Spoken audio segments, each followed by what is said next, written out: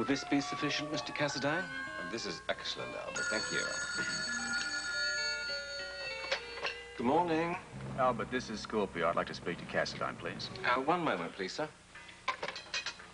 It's Robert Scorpio, sir. Thank you. This will be all, Albert. Good morning, Scorpio. Been a busy one so far. Look, I'd like to have a talk to you sometime. Do you have any new information?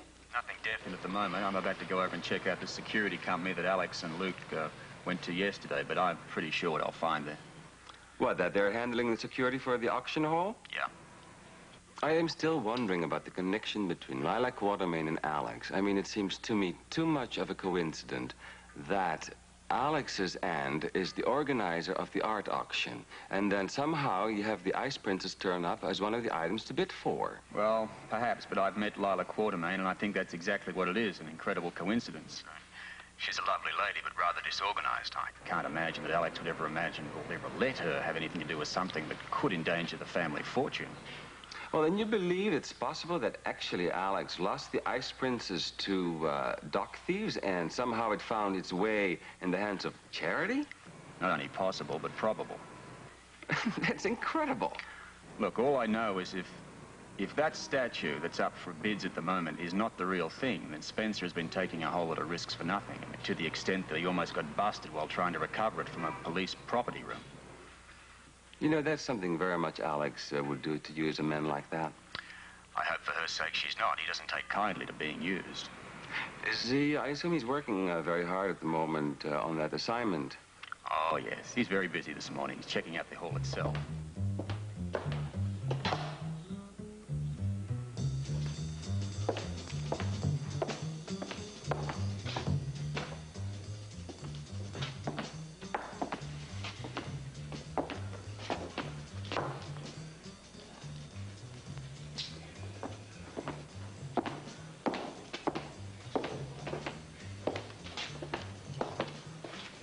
Lights go out. Get the princess. Can't go out the front door, guards. Can't go out the back door, guards. Can't stay in here. Cassadine, Scorpio. What the hell am I gonna do? What's this?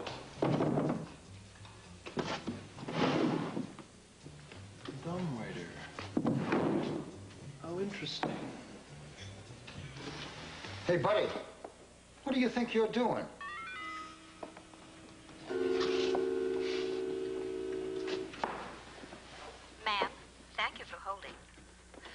Right, operator. Were you able to trace that call?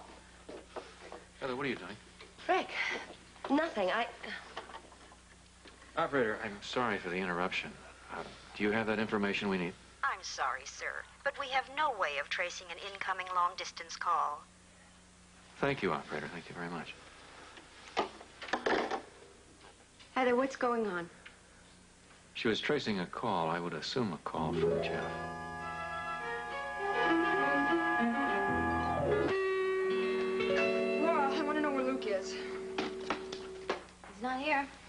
That's funny. He's not at home either. Uh, will you please try Kelly's diner for me?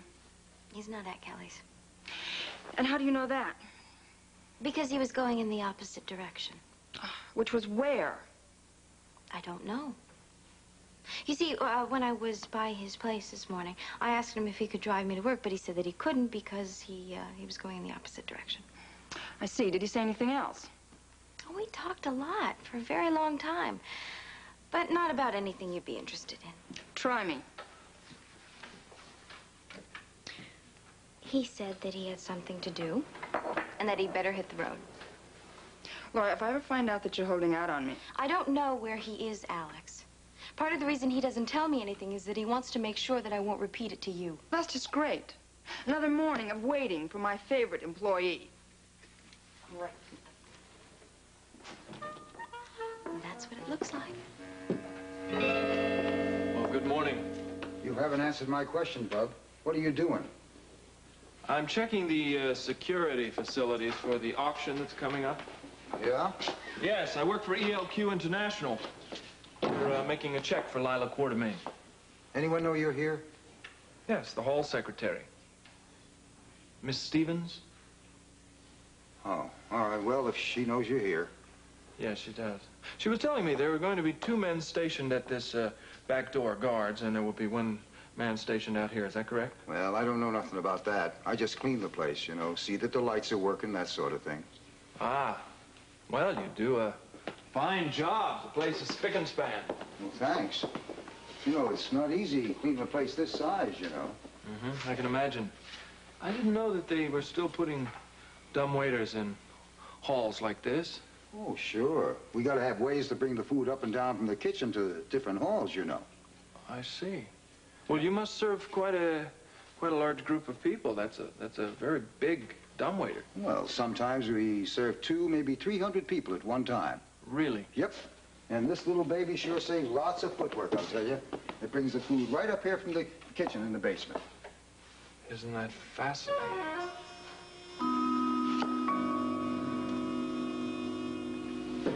Heather, I want an explanation.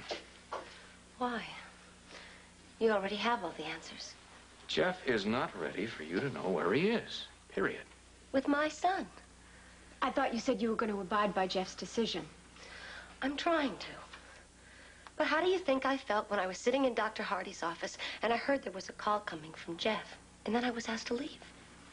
That's what happened. I'll tell What do you mean, if that's what happened? Now, Heather, don't read something into every single thing that's said. I still love my son. And I want to find him. Is that so awful? Is it? What does everyone think I'm going to do to him? No, no, it's not that. It isn't? Heather. Then what is it? Why can't I find him? Why won't you tell me where he is? Don't be patronizing to me. All I want to know is where my son is. Try to see it from my side. For a change. Let's say that you had a daughter. And that she was missing. And you tried and tried to find her. And then you finally found her. Only to have her taken away from you again and you didn't know where she was. I, I could understand how you feel. It's not that simple. It isn't. Because I've been in a sanitarium. Well, I'm going to be released from there very soon. My doctor thinks I'm well enough. Only no one thinks about that. Nobody cares. Because nobody cares about me. Heather, that's not true. Isn't it? I'm just a nuisance everyone has to deal with. Whenever I come to town, everyone looks at me like I've got the plague or something. Now, that's not even fair. Rick has volunteered to be responsible for you. Because he has to. Because Jeff asked him to. I don't think this is necessary to discuss. I'm sorry. I don't mean to be rude. It's just that I'm finally coming home. And all the people I care about aren't here. Heather, we're not trying to persecute you regarding this. We're not. I'm really sorry if all of this happened. I guess, I guess Dr. Hardy's going to be hung up in his office for a while. I'll just go. I only wanted to ask him about a job. Job. When I'm released from Forest Hills, I, I want to make it on my own. I don't want to be a burden to anyone. Well, I thought maybe there'd be some kind of job here I could have at the hospital. Well, we can ask him about that for you if you like. Thank you.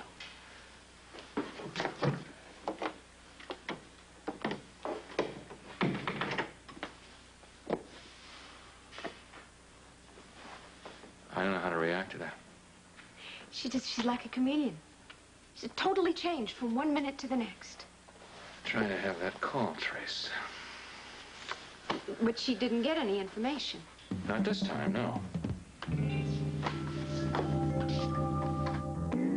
Yes, sir. I'll have two extra guards for you as soon as I can. Yes, sir. And, uh, thank you for calling. Well, good morning, sir. So you say. Oh, is something wrong? You better believe it, buddy. I've been ripped off. My apartment's been done over. I'm sorry. And I live in one of those uh, security buildings. I mean, uh, uh, it's a high-rise and all. Harbour Towers, you've probably heard of it. My, that's a very exclusive building. Yes, well, it didn't stop some sleazeball breaking in and just completely tearing my apartment apart. Well, sir, crime really has gotten out of hand these days, and, well, that's why we're so busy here. Yes, my bad fortune is your good fortune, so to speak. Well, I don't like to think of it that way, and, uh, you should think on the positive side. At least you weren't hurt. This time, Well, obviously, that's why you're here. You're worried about that next time. And believe me, you came to the right place. We're the best security firm in town. Well, I mean, that's what you say. Uh, well, just like the sign says, our security is your security. Uh, that about tells the story. Well, look, that's absolutely wonderful. You see, I'm something of a skeptic. Also, I'm rather new in town. Now, I'd quite like some references. Someone who might have used your company before. Is that a problem? Well, yes, it is. Uh, you see, it, it would violate security if I gave you the names of any of our clients. Oh. I'd love to, you understand, but I just can't. Well, that's an admirable policy, but you must understand, I mean, my position. I just can't take your word for it. No offense. Oh, well, there's none taken. Uh, you could call the uh, Better Business Bureau. Yeah, well, you see, they don't deal much in success, just failure. Well, have you seen any of our ads? They're in the paper, uh, television, and... Oh, well, that's just more biased opinion. Look, uh, I can see that I'm just going to have to find some company that's prepared to give me a few references. You see, I have a lot of objects to art in my apartment, and fortunately, this particular time, whoever ripped me off didn't have much taste. However, there is that next time. I, I don't know what I can do. Uh, well, that's unfortunate. I can see that we really can't do business, but thanks very much for your time. Uh, uh, wait, uh, there may be something that we could work out. Well, unless you can supply me with references, I don't see how. Wait, you said any kind of reference? Sure, anybody that's used your company. And you just want to know what kind of uh, service we give and, well, that sort of thing, right? Exactly. I mean, what can you offer me? Well, it probably wouldn't violate security rules if I gave you the name of a one-shot engagement. Oh, I don't know about that. Uh, coincidentally, it's to guard an auction where there are a lot of pieces of art displayed. That wouldn't be the General Hospital art auction, would it? Well, uh, as a matter of fact, it is, and it's a very big job. A one-off engagement, though. Hmm? Uh, well, the auction people seem quite happy. Uh, they were just in yesterday checking the security arrangements. That wouldn't be Lila Quartermaine, would it? Uh, no, she had her niece handling it for her with Oh. the uh, auction manager. He came down here in person. Do you know Mr. Spencer? Oh, oh yes, yes, quite well. A tall chap, frizzy hair, uh, beady eyes, no chin. That's fine. yes, that's him. Yeah, know him well. Yes, Good he's a friend mine. very nice, cooperative man. To a fault.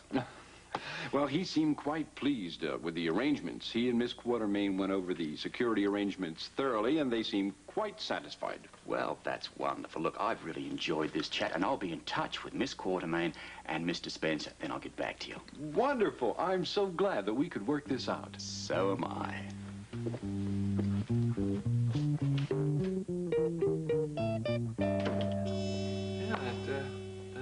large dumbwaiter. It, it certainly does have facilities to feed a large number of people here. Hundreds, and it's all good food, too. Yeah, I can imagine. Boy, it must be quite a job fixing all those dinners. Oh, that kitchen's pretty big down there. I don't think I'd like to work in a basement. Ah, me either. But the chefs don't seem to mind. The chefs feed me every now and then, you know, and that food sure beats what I get at home, but don't tell that to my wife. Huh? no, I wouldn't even consider doing that. You're quite a good salesman. I am? Why, sure. You may not know it, but uh, you may have just got a lot of business for this auction hall. How did I do that?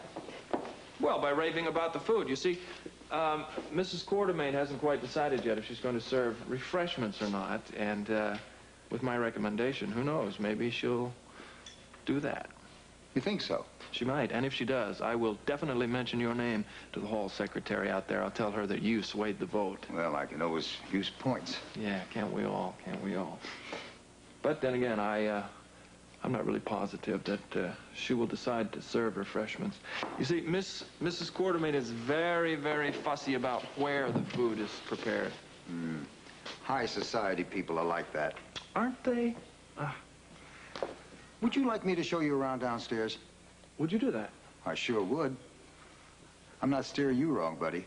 Well, that would be great. I would appreciate it very much. Come on, let me show you the kitchen right now. Wonderful. I'd like to see all the facilities.